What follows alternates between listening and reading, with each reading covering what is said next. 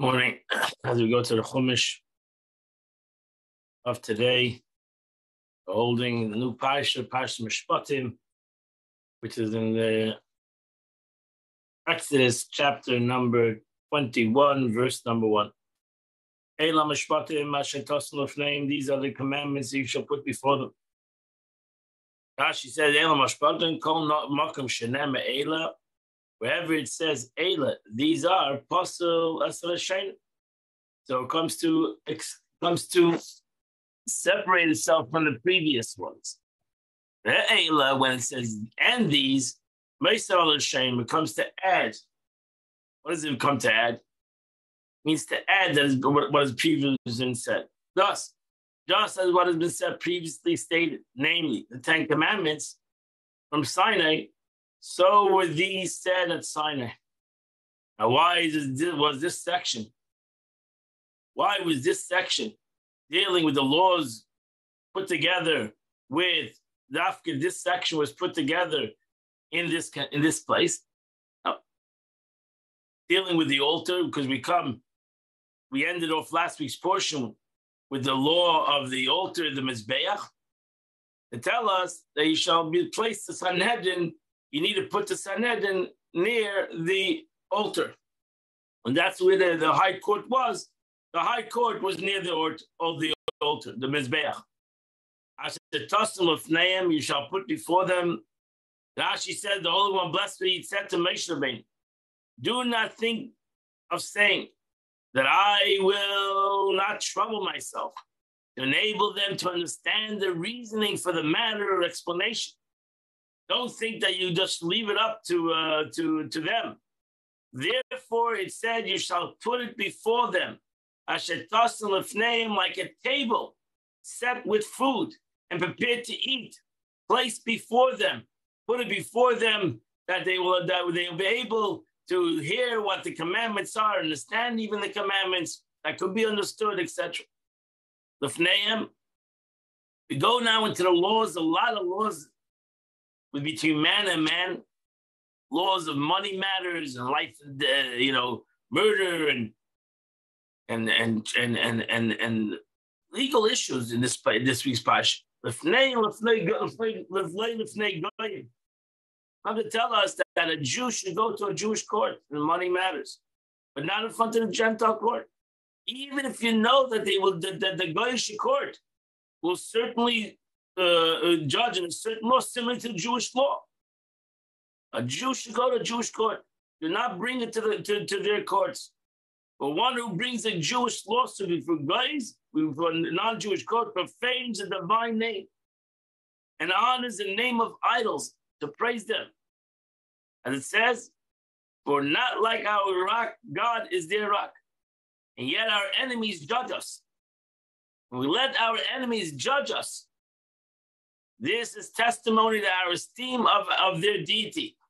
And therefore, we should always bring a court case that we have with a fellow Jew, who money matters today for sure, in front of a Jewish court. Even If you buy a Jewish slave, Sheshon Yavid, six years he shall work as a slave. And the eighth and the seventh year he shall go out free. Now she says a slave who is himself a Jew. Or perhaps it might mean that a slave, a Jewish slave, meaning a, non-Jew, a Canaanite servant who was brought by a Jew. And concerning him, the Torah says he shall work for six years. How do you know it means a Jewish slave? She says, how then can you apply the law? Following verse, he shall bequeath him. Does the verse apply concerning one servant purchased from a, from a non-Jew? But one he a servant purchased from a, from a Jew goes free at six years. Therefore, the Torah states, should your brother, your, a Hebrew man, be sold to you, he shall serve you for six years later on in Deuteronomy. It's a clarification that God said this only regarding your brother. The law of going out in six years is only for a Jewish slave. Kisikner, Rashi says there are two ways a person can be sold in the hands of the court who sold him into servitude because he, he's a ganef. If, if the court catches a thief and he doesn't have any money to pay back. So the court sells him as a slave, and now he pays back to his becoming a slave. As it says, if he has no money, he should be sold to the theft. Or perhaps it refers to one who sold himself into servitude. Somebody who has no money, realize he can't make a living, so he says, you know what, I'm going to sell myself as a slave, at least my, my family will have a livelihood because of poverty.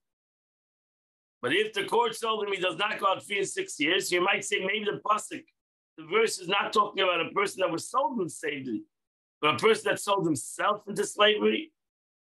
The Torah says, and it's your brother becomes impoverished. Besides you and you and, and, and is sold to you, one who sells oneself because of poverty is mentioned here.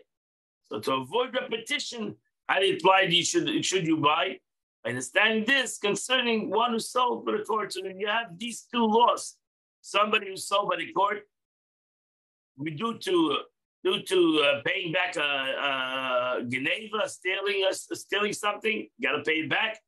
And somebody that sells himself, there's two different kind of cases. A chavshi, In Begapa Yava, if he comes alone, Begapa Yetsa, he goes out alone. In Balishu, if he's a married man, the Yatsa Ishta Ima and his wife shall go out with him. Now she says, in Begapa Yavai, which means has, he's not married.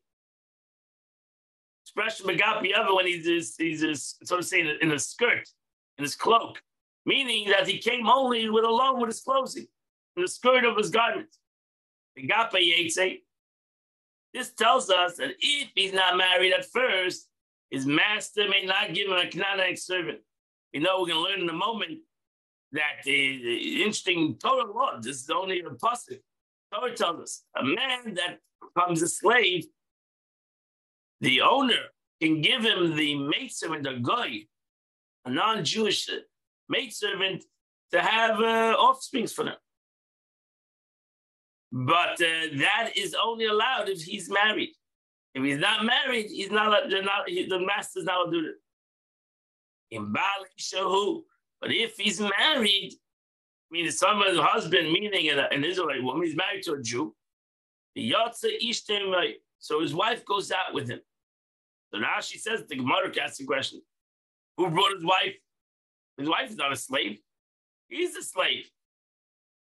Rather, the text informs us Whoever purchases a Hebrew slave, also responsible for supporting his wife and children. That's what it says. If you think you're buying a slave, you're buying a you're buying a slave, you're buying a master. The guy sold himself as a slave, or he was sold as a slave because he has no money. So now you're gonna have to not only support him, you're gonna have to support his entire family. And therefore the Torah tells us that the wife cannot say, you know what? I want to continue to be supported by the master. Seems like she's a better supporter than, than my husband. And once the uh, owner lets lets go this Jewish slave, his wife and his children become his responsibility. Now here we have this law of, of the, the, the master is allowed to give the slave to a non-Jewish woman as a maid, one of the maids. Fascinating law. You know, slavery today, Baruch Hashem. If the master gives him a wife and he bears him sons, or daughters, ultimately when he goes out in six years, all his uh, the children that he has with this woman doesn't belong to him. But who he ate the begapa, he goes out free. Rashi says, from here we deduce the master has the option to give the slave a Canaanite maidservant order to beget slaves from her. Perhaps this means only Israelite woman. Maybe the pasuk means that he got allowed to give her a Jewish maidservant. If a Torah tells us the woman and children shall belong to the master. And that can only be by, by a, a non-Jewish slave. Thus, he's speaking about a Canaanite woman. For a Hebrew woman, she also goes out of six years. And even before six years, when she develops signs of a puberty, she goes free. That we'll learn later. And it says a brother, Hebrew man or a Hebrew woman, that uh, one shall serve for six years. This teaches us that a Hebrew maidservant also goes out free in six years, even though it said at the beginning of the pasuk it talk about a man, but it's a man and a woman. So the most you can hire a, a slave from a Jewish, the Jewish people is six years. But if you if you buy a Canaanite slave, then she's then the, then they're slaves forever. No such thing as freedom unless they're freed. If the if the if the servant says after six years, I have to I like this servant. I like this maid. I have children with her. I'm also a married man. I have children outside, but I have children over here. I don't want to have freedom. I want to stay in slavery.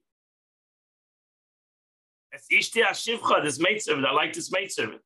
So I'm, I'm, I'm, I'm happy with the life I'm in. Why you let me free? I want to be, I want to be a slave.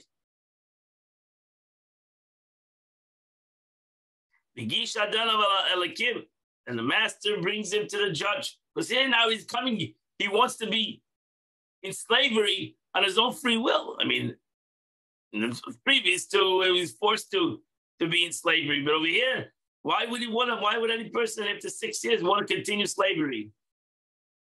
So therefore, you take him to the door, and bring him to the bezin. The Gishal Adelas, they bring him to the doorpost.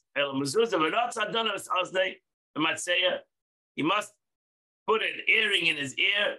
And now he becomes surgeons forever. Rashi says, Elakim means to court. He must console with the seller that they sold him. The court sold him. That's what the Pasuk is talking about. The Court sold him. I might think a doorpost is a qualified place which the board servants is. Therefore, it tells us, you shall thrust in his ear and into the door, meaning into it, but not into the doorpost.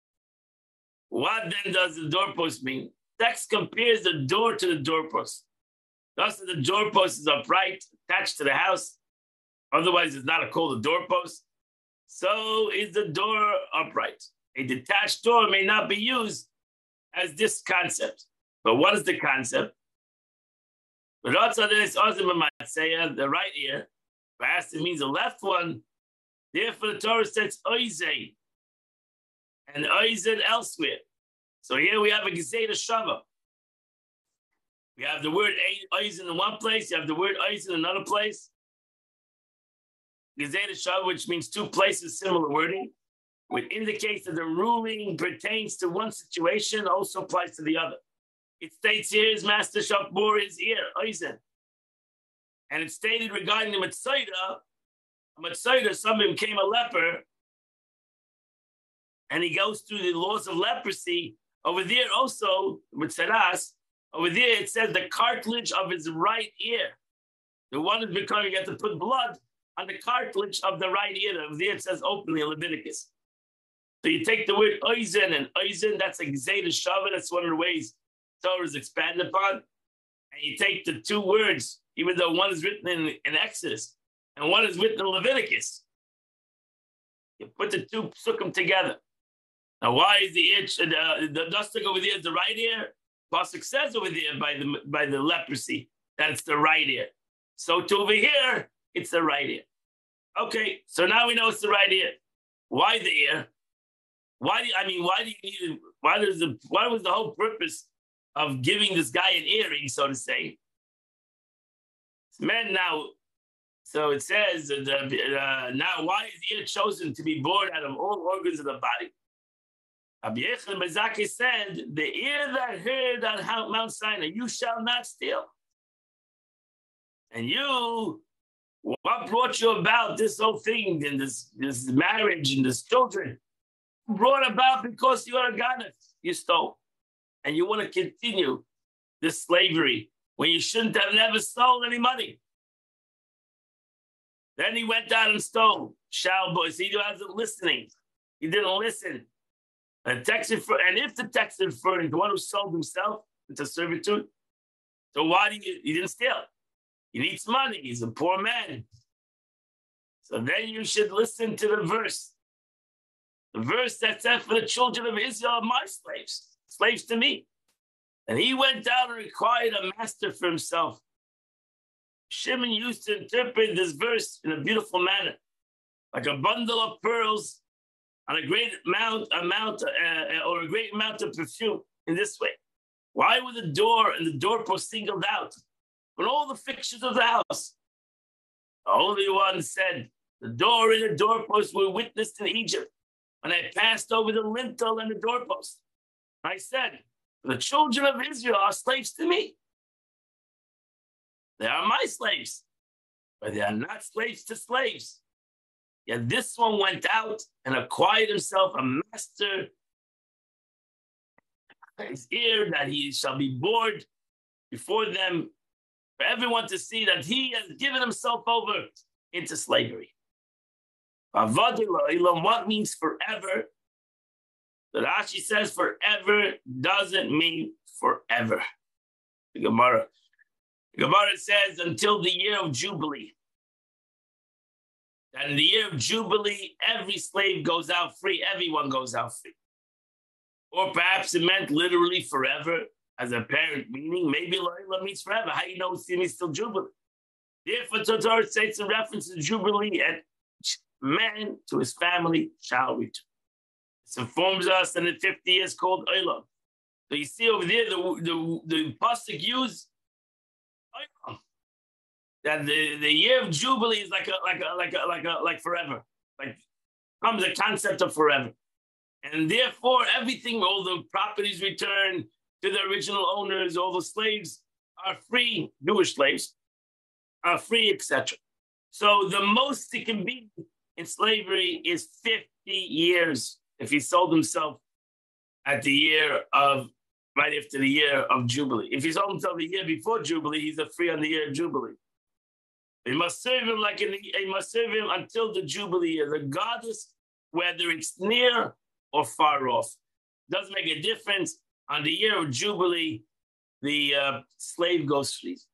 Verse number seven. The man will sell his daughter as a maid servant. Like Satan can say someone should not go free like slaves go free. It's a very fascinating law, and the reason why the Torah allowed a person to sell his daughter into slavery, because in general, a girl shouldn't go into slavery at all, but it was for the sake of getting her married. It was one of the options, so to say, how we can get the, how they can get their daughters married. Struggling with this issue. So with this, a very interesting law. So now, if a man is very, very precise law, you have to learn the Gemara really. Hopefully, we can get into Rashi, uh, what how this law works. But to really comprehend this law, you have to learn the Gemara. So the Gemara says the scripture is referring to, to a minor girl, a girl under 12. I might think that even should develop signs of puberty that a father may sell her. But you must agree that the Kal the inference of a major rule to a minor rule, applies here. Namely, if she were already sold, goes free with signs. That is when she has signs of initial puberty, like 12 and a half years old. It's written, he shall go free from not, for, uh, for, uh, for nothing without money. Later on, which is we interpret as proving to signs of initial puberty. Does it make sense that if she is not sold and it has initial signs of puberty, she should be sold? So therefore, if she if she goes out in puberty, how can he sell it to begin with in puberty? That's a kal v'chaim. If she's let out free when she you know eh, when she shows signs of puberty, so surely she cannot be sold. The mechilta and that's the gemara. The moment when a female has two pubic hairs, usually when she's 12 years old, She's no longer considered a minor Tana. She's called a Nada. So at 12 years old, she becomes a Nada. She is, however, still under her father's jurisdiction until six months later, when her, when her breasts develop to a certain stage. Then she's called a Boigis, a mature girl. In the case of a, of a Hebrew maidservant, the father may sell her only when she's a minor not when she's a nada. So there's three parts, three times in the, in the, in, the, in the, by a boy, he's a cotton and a gadol. He's a, he's, he's a minor and he's an adult. By a girl, we have three stages. We have a katana, a naida, and a baigris. Katana is until 12 years old. From 12 to 12 and a half, she's called a nada. And by 12 and a half, she's called a baigris. She is a woman. She's a, an adult. It's important these stages because there's a concept of, of, of marrying off your daughter uh, in Torah also. Here we have the law of selling your daughter. So you're not allowed to sell your daughter till 12 years old when she's a katana. Now, why did you do that for? As the Torah is going to say, because he wanted to get her married to this family. It was the only way to get her into the family. So that's what the father does. So really, he could have sold her at 11 and a half. That's it. Now she has uh, six months. He has to, the, the, the, master has to do something within six months. He has to make a decision. How you soon see in the past. Now she says, I say. This is also another law that we find the difference between a Goyish and uh, uh, uh, the owner of a non-Jewish slave and the owner of a Jewish slave. So uh, let's let's lead Rashi. Tzeis avadim, like emancipation of Canaanite slaves who go free because of the loss of a tooth. So in Torah law, if you punch your non-Jewish slave and you knock out his tooth, he's free. Even though a non-Jewish slave is bought forever, but if you abuse him, he's free. That's the way that the Torah is going to say that explicitly. So the Torah seemingly makes a difference between a Jewish slave and non-Jewish slave. A Jewish slave goes out six years, but a non-Jewish slave would go out if he's if he's abused. So, so there's a, there's a there's a stricter thing by a Jewish slave. There's a, there's a stricter thing by a non-Jewish slave. A non-Jewish slave can be a slave forever. A Jewish slave, even if somebody, even even if the owner punches him, he doesn't go out. He goes out only at six years. This is all Torah law. You got to go into the Gemara to figure out how they learned this all from these psukim. So these who goes free, the loss of a tooth and an eye. This is this one, the Jewish maidservant will not go free, the loss of a tooth or an eye, but she'll work for six years, or until the jubilee year, or until she develops signs of puberty. I mean, if you sold her, sold her at six years old, then she's going to be a slave till six to twelve years old. She's sold for six years. Whichever one comes first, the first event affects her freedom, and a master will reimburse her for the value of the eye or the value of the tooth. He has to pay her. He has to uh, when he hurt your slave, you got to pay. Uh, pay uh, at the end of the slavery, you're gonna have to pay your servant for the damages. Um, or perhaps it's not the intention of the verse, but she shall go free as the male slaves goes free, meaning after six years or the Jubilee year, therefore the third stage, could your brother, the Hebrew man or Hebrew woman, be sold to you? This compares the Hebrew woman to the Hebrew man in regard to the ways he can, he can free her. Thus, as the Hebrew man goes free following six years of service, or the Jubilee years, so does the Hebrew woman go free following six years of service or the Jubilee year. What then is the meaning? She shall go free. She shall not go free, and the slaves go free. This means shall not go free with the loss of a tips of her limbs, as does a Canaanite slave.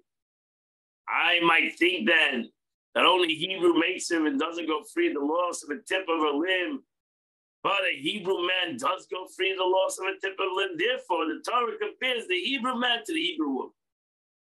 Just as a Hebrew woman does not go free with the loss of a tip of a limb, neither does a Hebrew man go free with the loss of the tip of a limb. So that's the way we learn one from the other. Now we go to the next verse. The Torah tells why we even sold her as a slave. Why would you sell your young daughter as a slave? underage. Why would sell? Why would anybody sell Tana, a young girl under twelve, as a slave, maidservant?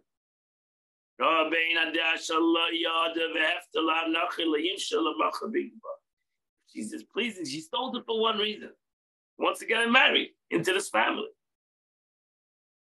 Not necessarily for himself, then he shall enable it to be redeemed. Shall not rule over or sell to any other person when he betrays. her. That's it. That's the real reason. Betrays her. It means a guy who buys a slave knows a young girl, Jewish girl. He knows why he's buying her. This person needs to have a. This person is trying to get his daughter a shidduch, and that's the way he's doing it. And Rabban initially, he's not fine pleased to an extent that he wants to marry her. He wants to marry her. Or son wants to wants to give it to her son, son etc. He's not designated to marry her and pay, and then the money paid for purchase, the money for betrothal. Here the scripture hints that it's a mitzvah to the mitzvah to perform you designated for marriage. And that's a mitzvah. That was the whole reason. He gave the money to the to the to the father as as a, as a as a wedding uh, as a wedding uh, betrothal. And if he doesn't do that, that's why she's not allowed to be in slavery after she becomes an adult, after she becomes a Nida and a Burgess. Are money articles value have been given to the girl's father in order to marry her. The money uh, the, the father originally received, the selling of daughter would now become the money of betrothal to the master. After this means that the master should give her the opportunity to be redeemed and go for he too assists in her redemption.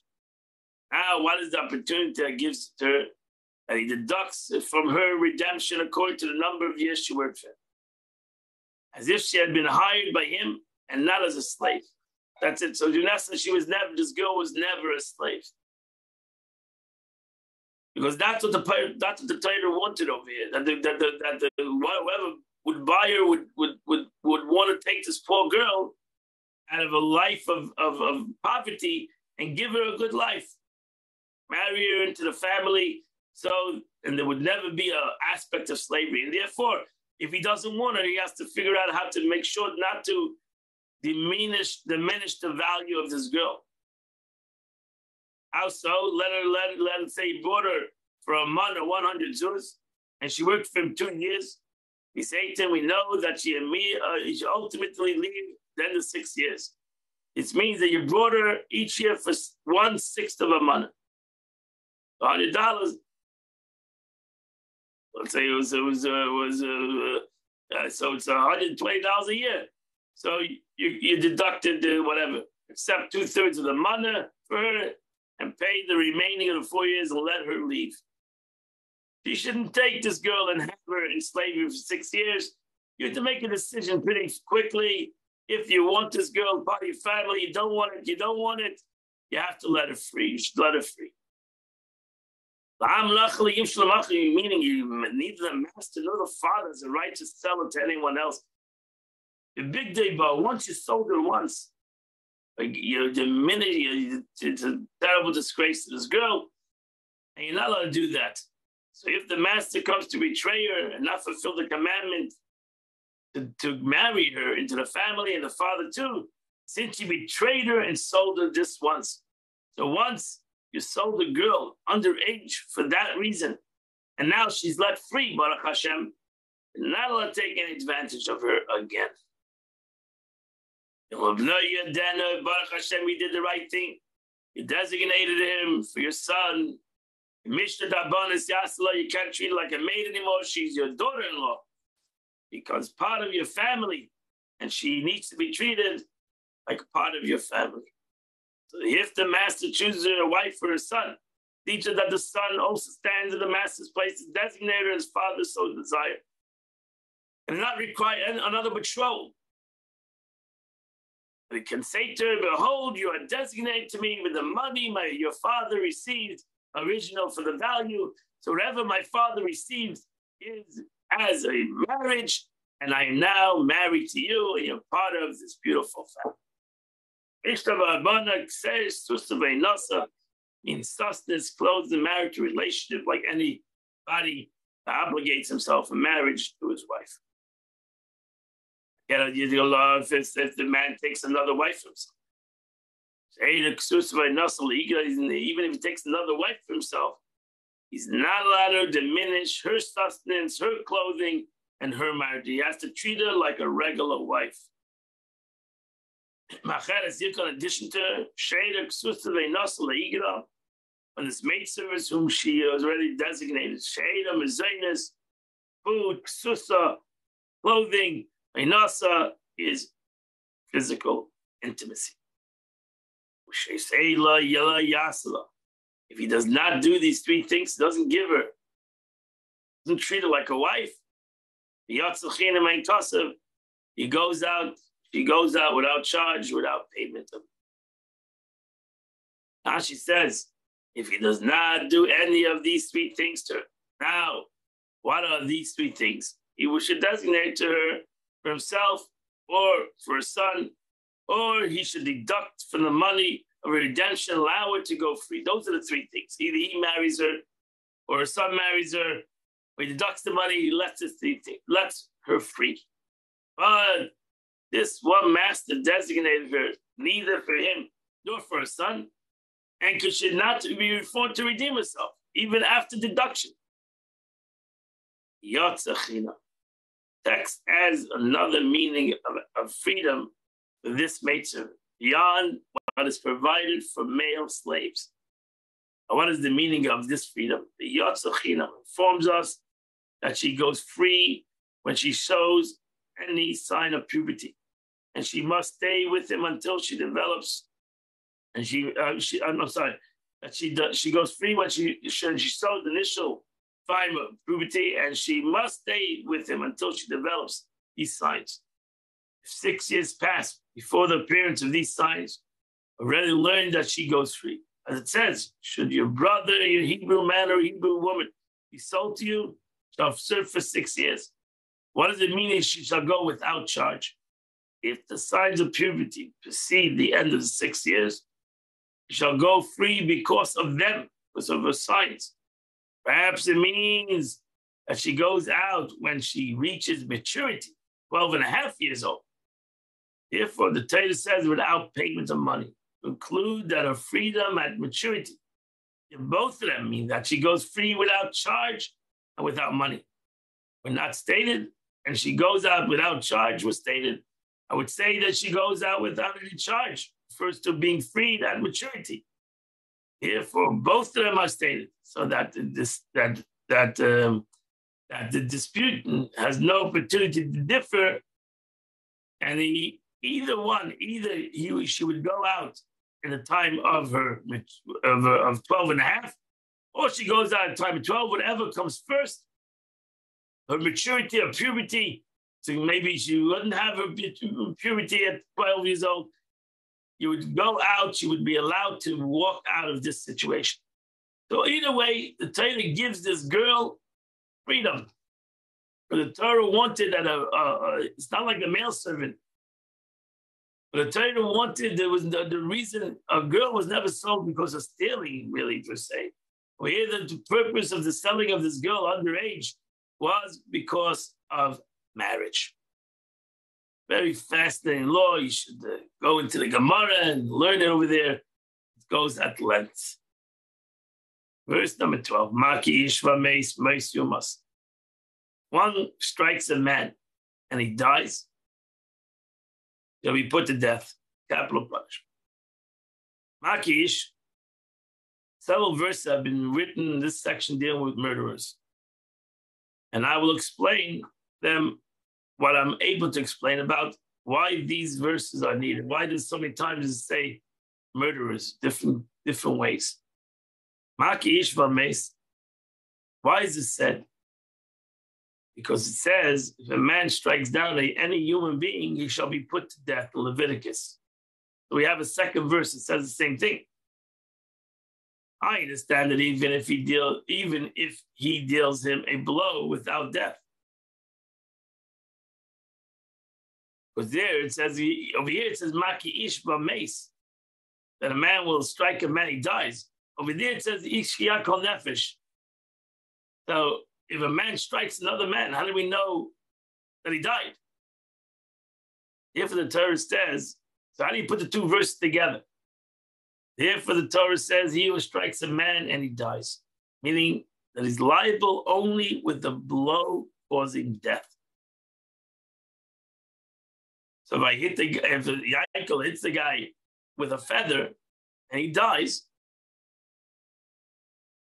that's not a blow that caused somebody's death. So that's why it says the two nefesh makish mace. You have to hit him a strike that can kill him. If I, if if if it said he who strikes a man, and I didn't say and a man strikes down a human being, I would say that he's one is liable only if one strikes a man. If one strikes a woman or a minor, how do we know that he's liable? So if you only have this verse, it says Maki Ish. I hit a man. How do I know if I hit a woman, I kill her? Tell me it's a woman, that kills her. It kills a minor. How do we know? So that's why the second verse of Vayikra, it says, Yaki kol nefesh. Anybody. So you have two verses. Over here it says Lames. Over there it's called Nefesh. Each verse teaches us something else. And from both verses, we learn out the law. And if it would say he strikes a man, and did not say he strikes down any human being, I would say he's only liable to strike a man. Okay. If one strikes a woman, how do we know? Therefore, the Torah says if a man strikes down any human being, referring to even a minor or even a woman. Also, it says, he who strikes a man. I would understand that even a minor who strikes and kills somebody would be liable. Right? If we say the second pasuk, the ish. Therefore, the Torah simply says, if a man strikes him, make ish. The guy who's hitting has to be a man, has to be an adult. A minor is not punished, does not given the death penalty if he kills somebody. He's a minor. Therefore, the Torah says, if a man strikes down, not a minor who strikes somebody. Also, if strikes down any human being implies that even novel, a, non-viable infant, home nefesh. So if a man kills a child under 30 days, considered a murderer, even though until 30 days, according to Torah, we don't consider this child. Maybe this child won't survive. That's where you do a pidyon aben after 30 days. The Torah strikes at a man, implying one is liable only if strikes a viable one who's capable of becoming a man. I'm sorry. So therefore, the Torah actually says the opposite. I might think that even if an adult hits a child under 30 days, he gets the death penalty. No, he doesn't. He only gets a death penalty if he, he strikes a child, kills a child past 30 days. And I mean, and there, and that's death penalty. Under 30 days, it's not the death penalty. Verse 13, one stalks, did not stalk it. Here we're talking about, so the previous verse is talking about intentional murder. Over here, the pasuk is talking about a non-intentional murderer.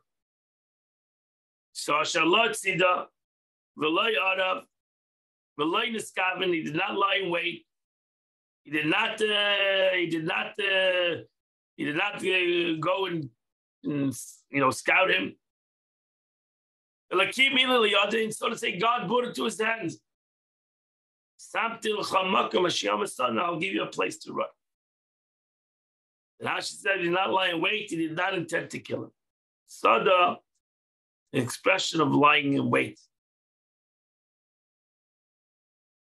Somebody's going out to uh, hunt. This is not scripture, we're only talking Sada, my soul takes him. So however it's possible, the word Sada expression related to hunting an animal. One who hunts, called a tzayid. So we're talking about somebody who's uh,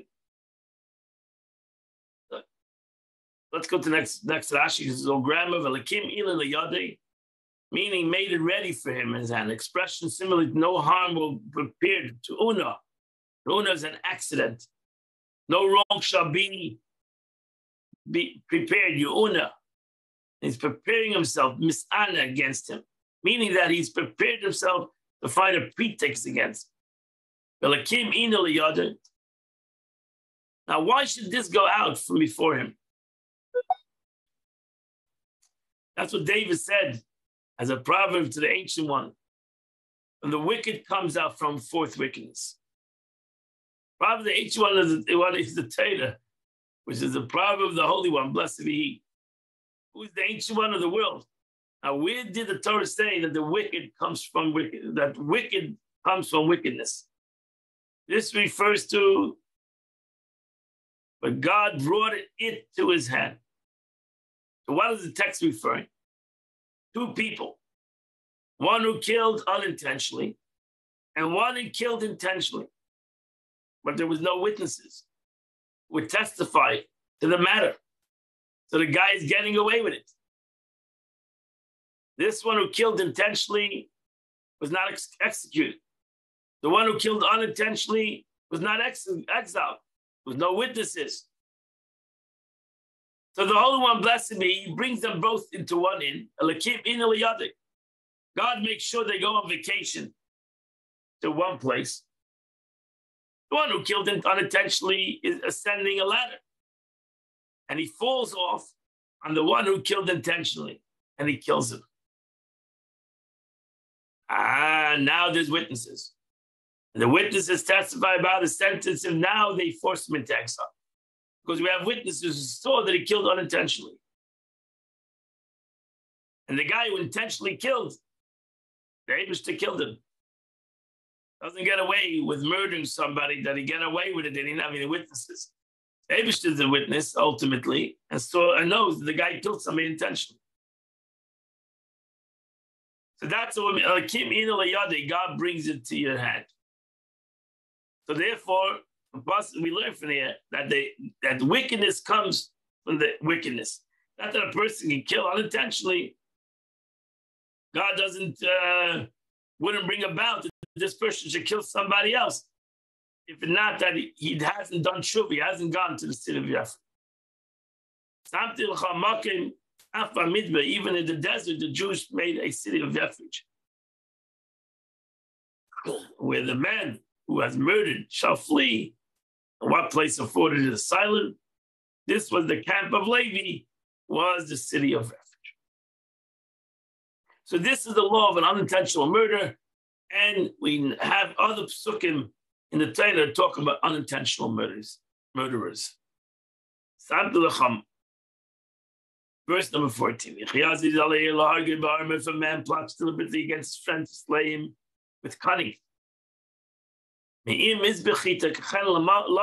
from my altar, you should take him to God. So this again, another verse about a murderer. Ash says, why is it said?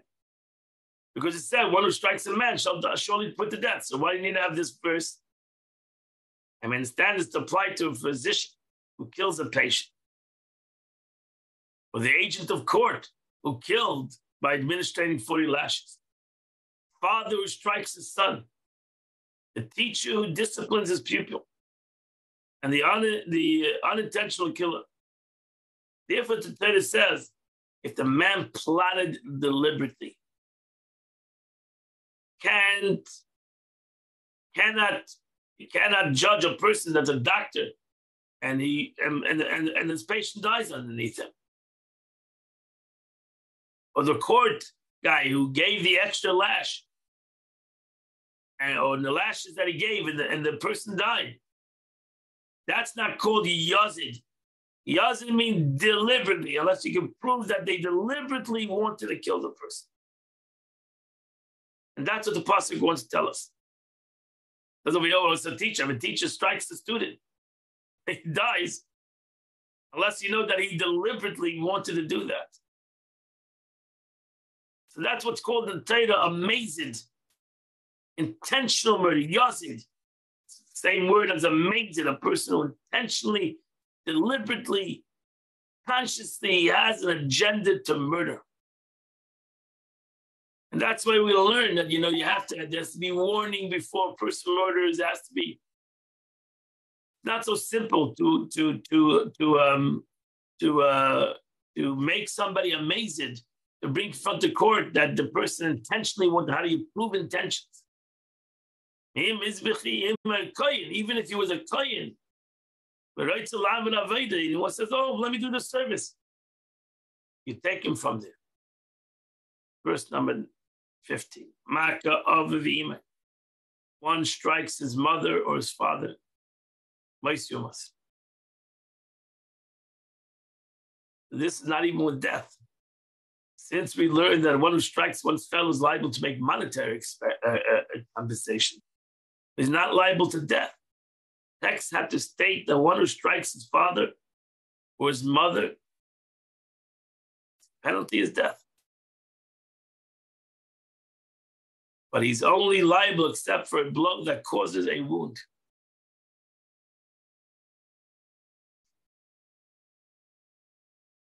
Either this one or that one doesn't make difference. He punched his mother and he made her black and blue.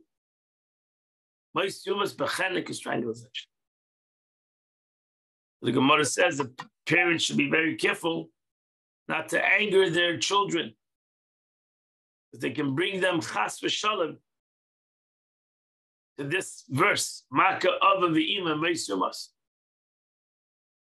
Verse number 16, if whoever kidnaps a man and sells him, and he's found in his possession, Oisyumas, kidnapping is punished by death. Malmanema, why is this said? Since the law of kidnapping is mentioned elsewhere, go to Deuteronomy, it's late in Deuteronomy, that a man found stealing a person amongst his brother, meaning the children of Israel. They worked with him, he sold him. Thief shall die, and you shall clear away the evil from your midst. So why do you need to have this verse? From here I know only that a man who kidnaps a person is liable to death. How do we know if a woman, one who's at intermediate sex or hemophilia kidnapped a person, who are liable to death? Therefore, the Torah says, whoever kidnaps a man and sells him. And since it says here, whoever kidnaps a man, I know only that one who kidnaps a man is liable to die. How do you know he kidnaps a woman? He's liable to die. Therefore, the Torah says in Deuteronomy, stealing a person. Therefore, both of these verses we need for one verse left out and the other verse left in. We need to have both of these verses again. You can go in the Gemara, Sanhedrin, where the Gemara said takes these two verses, puts them to face to face, and what you learn from both of these verses. Nimsa biyade, what means nimsa biyade? Means that the witness saw him and he kidnapped him and sold him. And he kidnapped a man was found in his hands prior to most Yunas Bechena by strangulation. Here we learn Ash says every every death penalty mentioned in the Torah without qualification is strangulation. God interrupts the subject discussing sins against parents and rights Whoever kidnaps a man between the verses, one who strikes his father and mother, and one who curses his father and mother. Appears to me, that's next verse 17, and it's underlying reason for the controversy, found in Sanhedrin that one Tanukh master believes that we are we're comparing striking somebody to cursing. Just is one liable only for curses the person who keeps the commandments as it befit of a Jew, so to one's liable only striking a person keeps the commandments, but not for striking a kutif. The other master believes that we not compare cursing to striking. And the one who's liable for striking could, even though does not keep the commandments. You can see the Gemara there will explain because we go from verse number 50, talks to you about your father and mother. Verse number 60 talks about a general rule of, of kidnapping. Verse number 17 goes back to your father and mother. And why do we put, why does the Torah put this verse right in the, to, the whole machlekes the Gemara? Do we compare hitting to, to cursing, or there's a different law by hitting and cursing? One who curses his father or mother, he put to death. Rashi says, what does it say? Since scripture says any man, any man who curses his father, says that in Leviticus. Again, we have a lot of time. The Torah says it again. So why do you need up both verses? From here, I know only if a man curses his father, he's liable to. How do we know if the woman curses her father? She's liable to that. Therefore, scripture there says, anyone who curses their father, it makes no, it makes an unqualified statement, meaning whatever the man or woman. If so, why does it say in any man? So why does it say the word over here? Over there later, why say men? So over there comes to tell us and exclude a minor, meaning underage. Mice, you must. Here Rav says, Miskila, because that's in, in, in Leviticus. Over there, the Torah tells you the punishment. Bamaka, whatever the blood is upon him, is Miskila. And that's dumb above. That's the, the verse Leviticus, the model of the, the model. All of them is rock shall be stoned them. Their blood is upon them. Regarding the one who curses his father, it says his blood be upon him. So whenever it says Maisyumas, strangulation, dumb above, skilas, stoning. Verse number 18. Two men have, having a fight. One man strikes his friend. The Evan the stone. The with a fist. And he's not going to die. Hashem, you didn't kill him. Not for the Mishkav, but he falls, to, he's got sick. Now he's in the hospital. And he's going to have to have re- recuperate. Ash says, why does it say this? Since it says later an eye for an eye, we learn only that if, uh, that if one assaults his fellow, he must pay the value of his limb. The amputated rendered permanently useless. Payment for idleness and healing, we have not yet learned. Therefore, this section, which delineates these payments, was stated. So we know in Jewish law there's, Nezek, Tsar, Lipoy, Sheves, Boishes. Five payments for a damage when you hurt somebody. Nezek, the payment of the damage. Tsar, the payment of the pain. Lipoy, the doctor's payments. Sheves, that he can't go to work. And Boishes, the embarrassment. You embarrassed this guy in public. Nafal and Mishkav, Rashi says, he's, he's an illness that prevents him from working. If he gets up and walks outside on his support, and the assailant, and, and, and, he's, and he got uh, he got healed, Baruch Hashem. He shall give his payments for his idleness, and he shall provide his cure. Now she says, I'm a Shamtal, Baruch Hashem, he got healthy, back to his friend. Now, what would enter the mind of one who did not kill shall be killed? Rather, the Torah teaches here that if he that they imprison him until he becomes a parent, wherever this one, the victim will get well. This is the meaning. When one gets up, walks on his support, the assailant shall be cleared. But before the victim gets up, the assailant shall not be cleared because the person might die. If the person dies, then you're going to be put to death. Like shiftay, word shiftay, enforced idleness from his work is due to the illness. He cut off his hand or his foot. We assess the payment of the idleness as if he was a watchman of a cucumber field because even after he recovers from his illness, he's not fit to work. That requires a hand and a foot. And the assailant already gave his payment for the damage, the value of the hand and the foot. So how do you evaluate the value? So you, you evaluate what the person cannot do now. And, and basically, we're going to give him that payment. As Targum Onkelos renders, he shall pay the physician's fees. He's obligated to pay all the fees of his doctor fees, hospital fees, etc. Oh, ah, that finishes the Shlitas, the Chumash of today.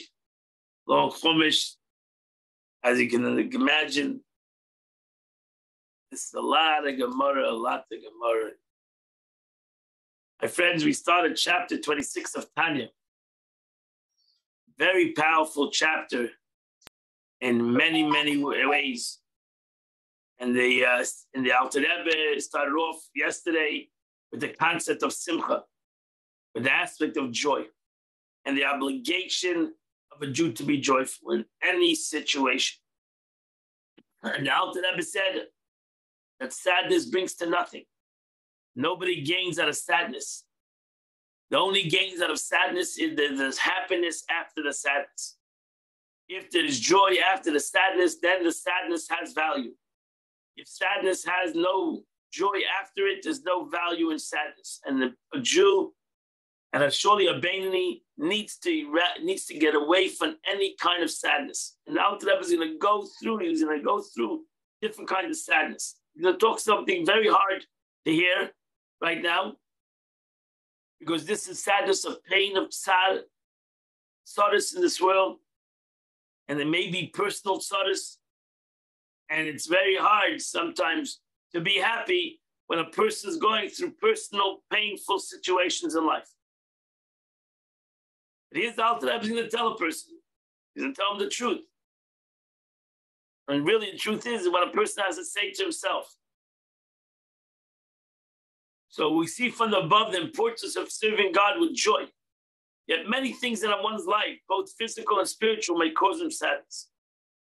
Dr. Rebbe goes on to propose the means of combating the sadness so that one may always be joyful. In the Lib Makol Eitzah, sound advice of being offered by our sages to cleanse one's heart from all sadness.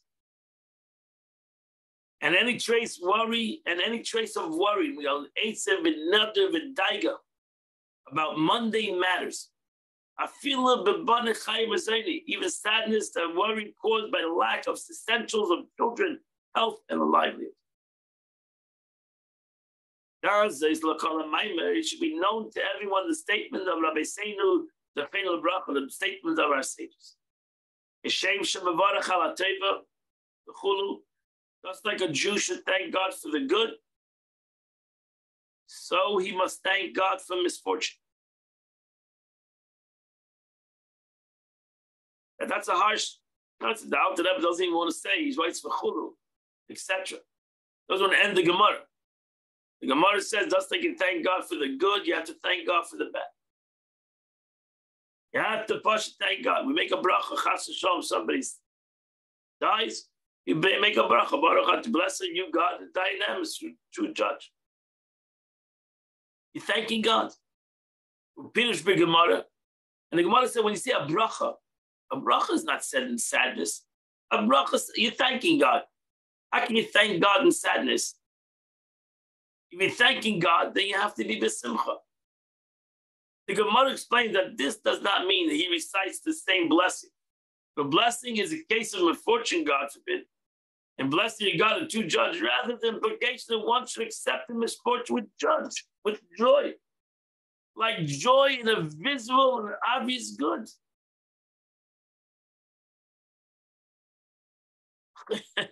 this is tough. The Gemara, in essence, telling you you have to be happy. Went through a tragedy. How can you be happy? Gemara says you have to be happy. Happy? Comes at the table because this is also really good. This is good. Actually, Nicholas, with needless lane of buses, the only problem is you don't see the good. Because this comes from the world, the hidden world. Which is higher than the revealed spiritual world. And that's where you cannot see it. And Alter Rebbe gives us, a, gives us its source in Kabbalah. Shuvav Mishem Avai Baruch The letter emanates from the letter Vav from the uh, Vav and the Hey of the Avai, the four letters of God composed of Yud K Vav K. The former derived from the letter Yud Hey. So Alma Discasia, Alma Disgalia comes from the letter Vav Hey, and Alma Discasia comes from the letter Yud K. That's a custom, and that's what the verse says. Asher Geber. Happy is the man whom you, God, chase, chase, chase. Teyasrenu. Asher Yudke. A Jew, what, great is the person that can see that even God chastens him, God, God punishes him. When God brings him solace, it comes from Yudke, it comes from comes from the Almad's passage, comes from the hiddenness of God. He sees the good. Man sees misfortune only because he cannot perceive that which derives from the higher. Hidden levels of godliness. In truth, however, the misfortunes are actually blessings in disguise. The contrary, they represent even a higher level than good.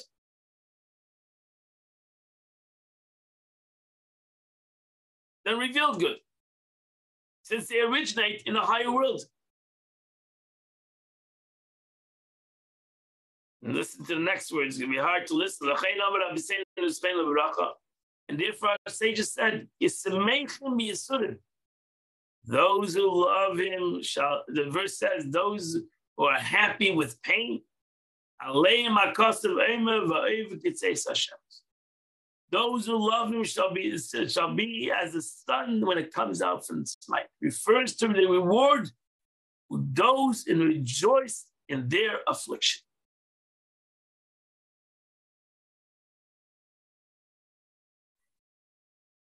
God always rewards a man measure for measure.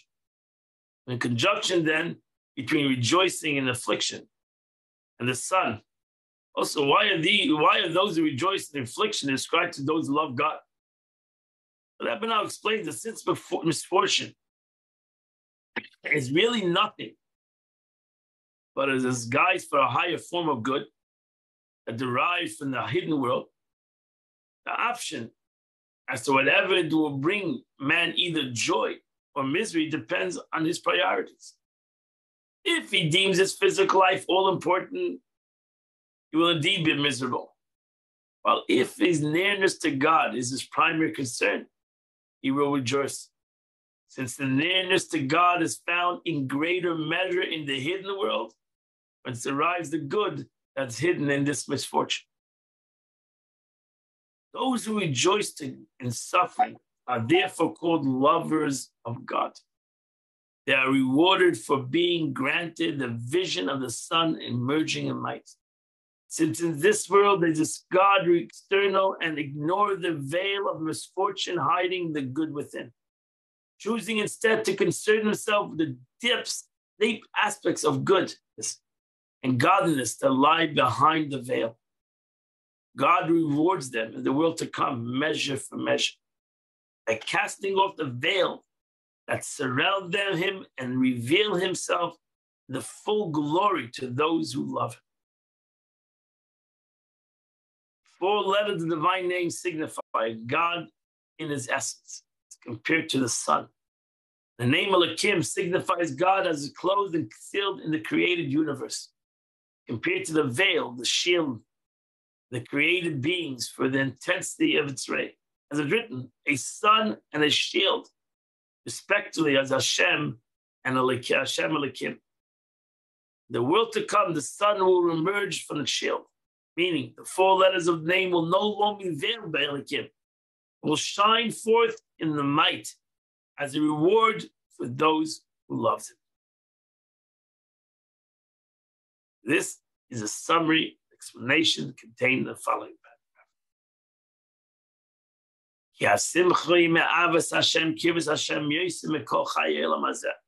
For one's joy in affliction, then for the fact that being near to God is dearer to him than anything of life in this world. That's what he said in the morning. I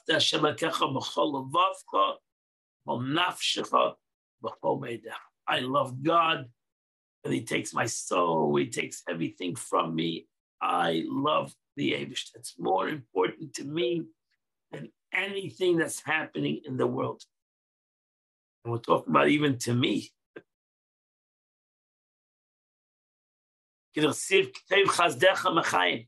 As it says, your loving kindness is better than life. And the nearness to God is infinitely greater and more sublime in the hidden worlds. For there, the concealment of the power is large. He says, What do I care about the revealed world? What do I care that I don't see goodness in the revealed worlds? I'm, I'm searching the hidden worlds. I'm searching the essence of God.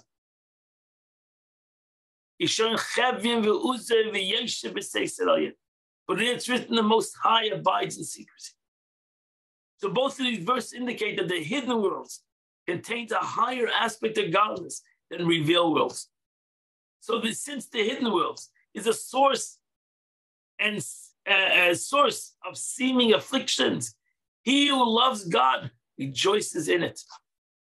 For it represents a greater nearness to God than the revealed worlds, which derive from the revealed worlds.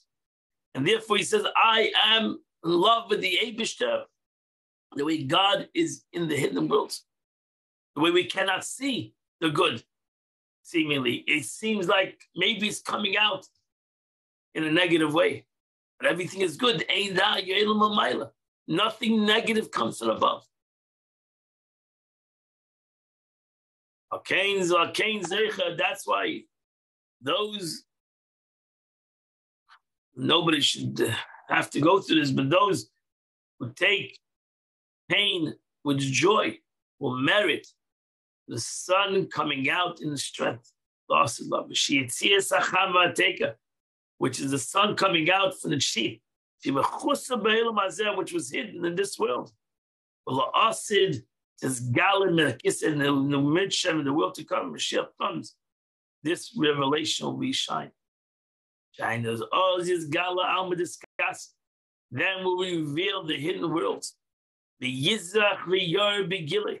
It will shine forth with a glow and a great and intense revelation. Whoever seek refuge in him in this world, taking shelter in a shadow, to take shelter in the shadow of God, to accept with joy whatever the Abishter gives us, which is we say you know we take we take shelter in God's shadow because it's only a shadow, not the revealed light. The meaning of those who find shelter and refuge, even in which represents an external appearance of shade and darkness, where in the light a goodness contained is concealed. If we do that now, we go into the shelter of God, that even we see harshness, sadness, but we are still joyful because we realize everything is Shemayim. Everything comes from heaven. Every, everything comes from heaven. It's really good. Even though I don't see it my good, but it's really good. And even though I'm in pain, I'm really I'm, I'm happy that God is doing what He's doing because it's really good. And one day I will see the good. Daila Maven, and this is sufficient explanation for the understanding, which is tough to understand. Turn to original point, self understood Alter Rebbe, and this is talking each person to yourself, and you need you need to ultimately come to that that to yourself. Not everybody is capable of handling this this this this concept.